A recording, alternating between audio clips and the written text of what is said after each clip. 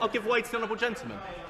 Well, now, I've uh, received several emails from Labour Party members in Ashfield saying, asking me to back the Labour Party's fully costed NHS plan.